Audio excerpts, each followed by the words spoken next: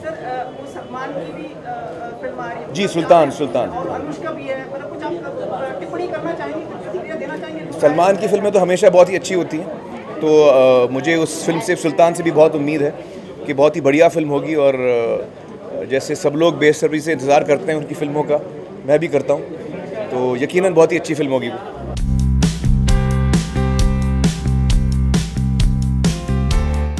For more news and gossip, don't forget to subscribe to Bollywood Helpline.